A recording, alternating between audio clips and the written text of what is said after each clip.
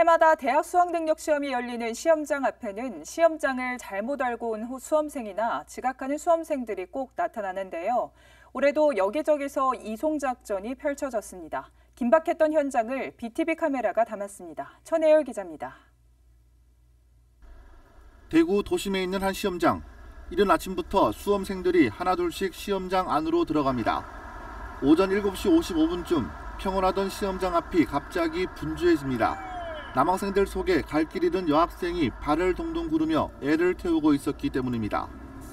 이 수험생은 시험장을 잘못 알고 이곳으로 왔습니다. 입실 시간은 채 15분이 남지 않은 상황. 이 수험생은 주위의 도움을 받아 무사히 시험장으로 들어갈 수 있었습니다. 학교 어디지? 네네, 그거 맞는 것 같습니다. 네. 경북여고요. 네, 알겠습니다.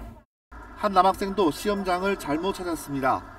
시험장 관리 요원이 이 학생의 시험장을 확인합니다. 10여 분 뒤면 시험장으로 들어갈 수도 없는 상황입니다.